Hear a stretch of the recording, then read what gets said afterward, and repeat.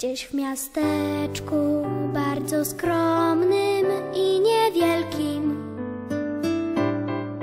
Na dodatek przy ulicy całkiem ślepej Mieszkał optyk, co sprzedawał okulary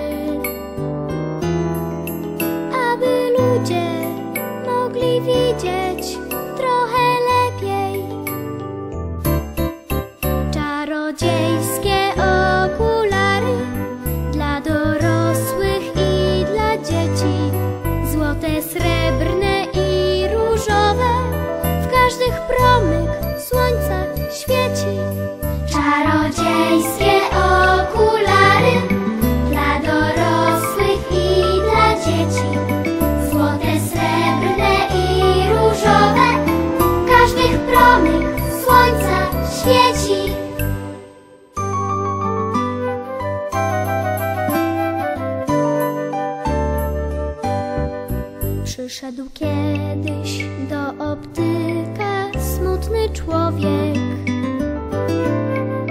co świat widział w barwach czarnych oraz szarych. I usłyszał, zaraz spojrzy pan inaczej. Wybierzemy tylko dobre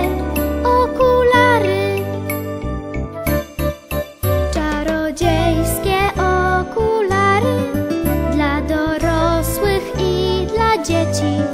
Złote, srebrne i różowe, w każdych promyk słońca świeci.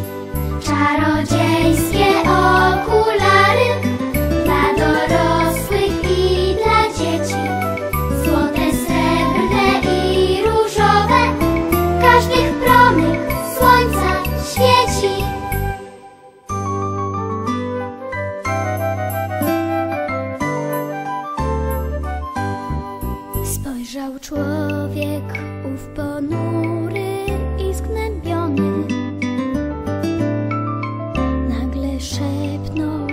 bardzo cicho, nie do wiary.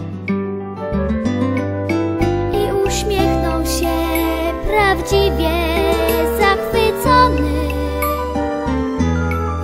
Grunt to włożyć odpowiednie